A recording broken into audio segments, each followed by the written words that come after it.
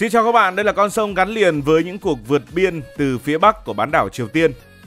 Ở một vị trí nhất định, băng qua con sông này đồng nghĩa với việc bạn băng qua ba quốc gia cùng một lúc là Triều Tiên, Nga và Trung Quốc. Một kỷ lục mà các vận động viên bơi lội thầm mơ ước với tiêu chí bơi xuyên quốc gia nhưng chỉ trong một đoạn cực ngắn. Dòng sông này chính là dòng sông được bảo vệ nghiêm ngặt nhất thế giới. Nơi đây không có những loài cá đặc biệt quý hiếm để mà bảo vệ. Nơi đây cũng không có những doanh trại quân đội để mà cần bảo vệ. Nhưng nơi này có những người liều mình băng qua dòng nước để bước sang đất nước khác. Chào mừng đến với câu chuyện về sông Đồ Môn. Sông Đồ Môn nằm trên bán đảo Triều Tiên và cụ thể thì nó nằm ở phía bắc. Đất nước Triều Tiên có hai con sông tiêu biểu và nổi tiếng đó là sông Áp Lục và sông Đồ Môn. Sông Áp Lục dài hơn, có chiều dài tổng cộng là 790 km và lưu vực rộng 30.000 km vuông. Lưu vực sông Áp Lục là nơi phát tích của vương quốc Cao Câu Ly. Con sông này cũng gắn liền với chiến tranh Triều Tiên những năm 50 của thế kỷ trước. Bên này bờ sông Áp Lục là Triều Tiên, bên kia bờ sông Áp Lục chính là Trung Quốc. Nếu muốn rời Triều Tiên, vượt qua sông Áp Lục cũng là một lựa chọn. Nhưng lựa chọn này không phổ biến như vượt qua một con sông khác cũng nổi tiếng không kém phần là sông Đồ Môn. Lý do là bởi sông Áp Lục rộng và sâu hơn sông Đồ Môn nên không dễ gì để có thể băng qua nó, đặc biệt là trong tình cảnh phải che giấu tung tích của mình. Sông Đồ Môn thì ờ, giống với ờ, sông Áp Lục ở chỗ, cũng bắt nguồn từ núi Trường Bạch, đây là núi thiêng của dân tộc Triều Tiên và sông Đồ Môn cũng giống sông Áp Lục, đây đều là những con sông biên giới. Sông Đồ Môn thậm chí còn hình thành biên giới tự nhiên tận ba quốc gia là Trung Quốc, Nga và Triều Tiên. Sông này ngắn hơn sông Áp Lục, chiều dài của sông Đồ Môn là 521 km. Từ núi Trường Bạch, sông chảy quanh co trước khi đổ ra biển Nhật Bản. Trong đó có đoạn biên giới giữa Triều Tiên và Nga dài 18 km và thường khó nhìn thấy ở trên bản đồ. Và người Triều Tiên cũng thường không nghĩ đến phương án băng qua nước Nga. Những người vượt biên ít trốn sang Nga do phần biên giới này thì được canh phòng nghiêm ngặt và cộng đồng người nói tiếng Triều Tiên ở Nga thì không đông. Mục tiêu của họ sẽ là Trung Quốc. Phía bên kia Trung Quốc chính là tỉnh Cát Lâm. Và tỉnh này thì thuộc vùng Mãn Châu, đặc biệt nổi tiếng là thành phố Diên Cát. Thành phố này chỉ cách biên giới khoảng 24 cây số mà thôi, với dân số là 400.000 người. Trong đó phần lớn là người Triều Tiên. Ước tính những người gốc Triều Tiên hoặc là nói tiếng Triều Tiên thì chiếm khoảng 60% thành phần dân cư của thành phố, phần còn lại là người Hán. Cả tiếng Trung Quốc và tiếng Triều Tiên đều được coi là ngôn ngữ chính thức của thành phố này. Tất cả các dấu hiệu, bảng đường đều ở dạng văn bản song ngữ, với tiếng Triều Tiên thì được ờ, ưu tiên viết lên đầu.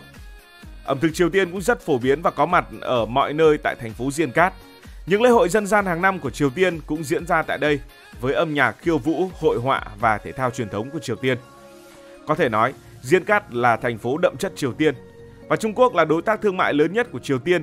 Thế nên, Diên Cát không chỉ là thành phố trung tâm ở khu vực ờ, xuyên biên giới, Diên Cát còn là một ờ, thành phố nơi tập trung những người Triều Tiên vượt biên tới đây.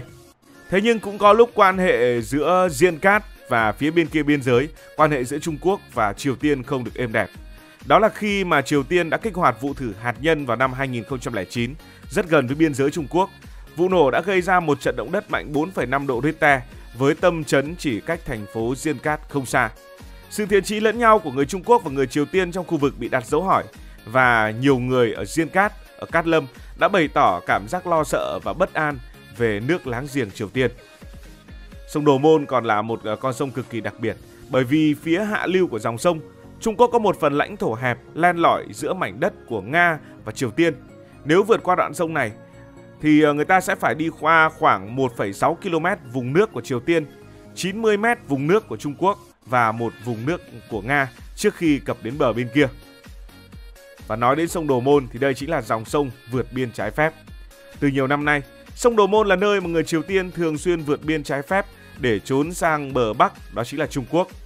Trong nạn đói Triều Tiên vào thập niên 1990, đa số người Triều Tiên đã bỏ chạy sang Trung Quốc bằng ngả chính là sông Đồ Môn này. Bất chấp việc canh phòng nghiêm ngặt của phía Triều Tiên, sông Đồ Môn vẫn là nơi được người Triều Tiên chọn để vượt biên vì lòng sông nông và hẹp.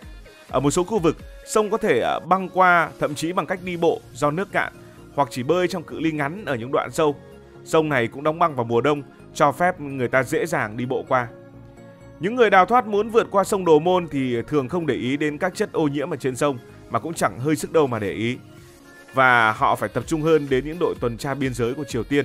Họ sẽ dành hàng tuần, nếu như không muốn nói là hàng tháng hoặc thậm chí là hàng năm để chờ cơ hội hoàn hảo vượt qua dòng sông này.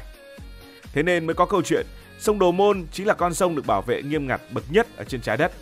Vào ban ngày thì cảnh tượng không có gì lạ, khi người ta sẽ tụ tập ở bên bờ sông để giặt quần áo, để rửa rau, thậm chí là để tắm. Vào mùa đông, một lớp vỏ băng ở trên mặt nước ờ, sẽ được ờ, vỡ bỏ và người Triều Tiên chỉ cần khoét một lỗ như thế, tiếp tục công việc hàng ngày của mình. Nhưng đó là câu chuyện vào ban ngày. Khi màn đêm buông xuống, sông Đồ Môn đã trở thành một lối thoát hiểm. Thế nên phía Cộng hòa Dân chủ Nhân dân Triều Tiên đã phần nào đó ờ, di rời những cư dân sống ở ven sông Đồ Môn đối diện địa phận Trung Quốc và sâu trong nội địa nước này. Và không phải ngôi làng nào ở ven sông thì cũng được chào đón. Đồng thời để tăng cường kiểm soát và ngăn chặn hoạt động đào thoát của người dân vùng biên, Triều Tiên đã chủ trương dò sóng điện thoại tại khu vực này bằng cách thành lập những đội đặc nhiệm di chuyển trên những chiếc xe chuyên dụng với thiết bị dò sóng chuyên dụng, bắt giữ những người đang cố gắng bỏ trốn hoặc là có âm mưu bỏ trốn. Vì các tổ chức môi giới thường sẽ dùng điện thoại và họ liên lạc từ Trung Quốc với những người chuẩn bị đào tẩu ở Triều Tiên trước khi kế hoạch được triển khai. Nhưng ai mới là những người thích vượt sông Đồ Môn? Sông Đồ Môn bị vượt qua bất hợp pháp có khi bởi chính những binh lính Triều Tiên và những người dân Triều Tiên khi đang tìm kiếm những cơ hội tốt hơn về công việc hoặc đơn giản là tìm kiếm một cái bụng ấm hơn, no hơn. Việc khan hiếm lương thực ở Triều Tiên một thời có thể là nguyên nhân khiến dân thường và cả lính biên phòng nước này xâm nhập vào Trung Quốc trái phép. Hiện tượng này diễn ra cao trào vào những năm 1990. Hành trình phổ biến nhất của những người đào tẩu là băng qua biên giới với sông Đồ Môn, sau đó sang tỉnh Cát Lâm, Liêu Ninh ở phía đông bắc Trung Quốc trước khi trốn sang một nước thứ ba. Để tránh làm xấu đi mối quan hệ căng thẳng trên bán đảo Triều Tiên, Trung Quốc từ chối cấp phép tị nạn cho người Triều Tiên và coi họ là những người di cư kinh tế bất hợp pháp. Nếu những người đào thoát bị bắt ở Trung Quốc, họ sẽ bị trục xuất về nước. Theo thống kê của Bộ Thống nhất Hàn Quốc, phần lớn người Triều Tiên đào tẩu sang Hàn Quốc qua cánh cửa Trung Quốc đều trong độ tuổi từ khoảng 20 đến 39, đa phần là phụ nữ và không có việc làm. Ngoài ra cũng có những trường hợp hãn hữu là binh sĩ Triều Tiên. Và hơn 75% số người Triều Tiên bỏ trốn là từ hai tỉnh phía Bắc, những tỉnh gần biên giới với Trung Quốc, đó là các tỉnh Hamgyong và Ryanggang. Cũng theo thống kê từ phía Hàn Quốc và phương Tây, từ năm 1953 đã có khoảng từ 100.000 người cho đến 300.000 người Triều Tiên đào tẩu. Hầu hết trong số họ đã trốn sang Trung Quốc. Tuy nhiên, kể từ khi ông Kim Jong-un lên nắm quyền, số lượng người đào tẩu đã giảm đáng kể xuống mức dưới 1.000 người mỗi năm. Người Triều Tiên sau khi đào thoát thành công thường sẽ tổ chức lại những cuộc vượt biên tương tự cho những người có nguyện vọng đào tẩu sang Hàn Quốc nhưng vẫn đang sống ở trong nước.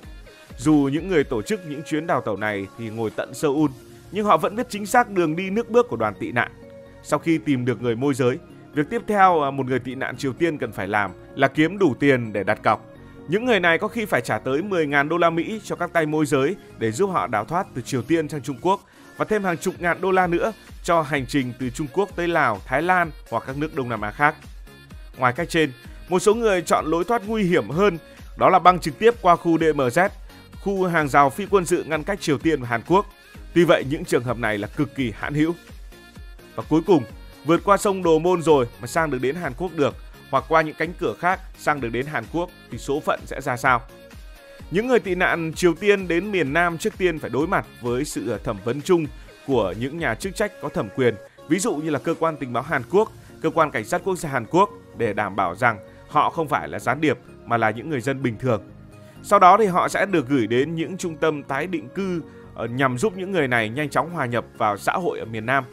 Tại đây thì họ sẽ biết về internet, học cách sử dụng điện thoại di động, tìm cách mở tài khoản ngân hàng, à, tìm cách gửi tiền và rút tiền. Họ cũng được cung cấp thông tin và có cơ hội tìm việc. Những người đào tẩu Triều Tiên trong những năm 1970, những năm 1980 thì thường được truyền thông Hàn Quốc tung hô và ca ngợi họ là những người khát khao tự do. Nhưng điều đó thì đã thay đổi, đặc biệt là sau nạn đói những năm 1990 ở Triều Tiên. Nhiều người đã tìm cách đào thoát khỏi quê hương.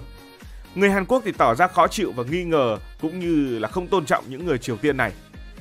Những người Triều Tiên thì do thiếu kiến thức, tranh lệch về trình độ nên họ đối mặt với muôn vàn khó khăn khi tìm kiếm công việc cũng như định cư lâu dài tại Hàn Quốc. Cảm ơn các bạn vì đã quan tâm theo dõi câu chuyện này, câu chuyện về sông Đồ Môn và sông Đồ Môn thì lại mở ra những góc rất hay, rất mới về ờ, mối quan hệ giữa hai miền Triều Tiên.